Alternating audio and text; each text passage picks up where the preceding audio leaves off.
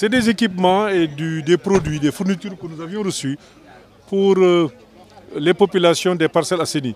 Nous avons estimé devoir l'élargir en accord avec le ministre de la Santé, mais aussi avec le médecin-chef.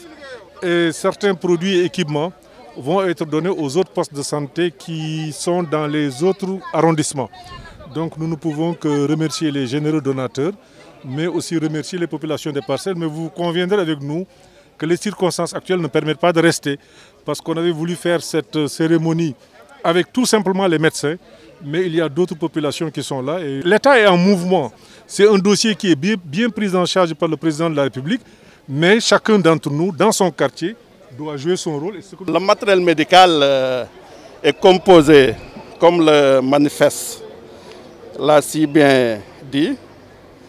Euh, le ministre a souhaité que le matériel soit partagé aux structures qui composent euh, l'arrondissement des Parcelles Asseni, que sont Nabil Souker, le centre de santé de Mam Abdou Aziz le centre de santé de Camberen, le centre de santé Nabil Chouker et les six postes de santé des Parcelles Assini.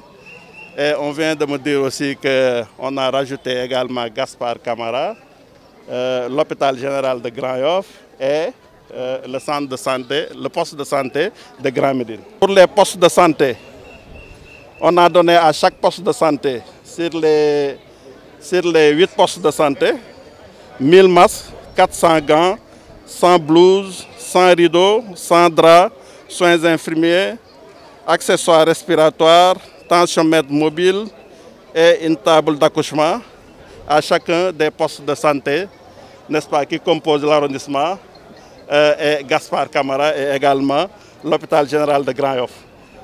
Pour, l'hôpital général de Grand euh, on a offert un lit trauma, des consommables, des, des matériels orthopédiques, du matériel urologie et des gastro.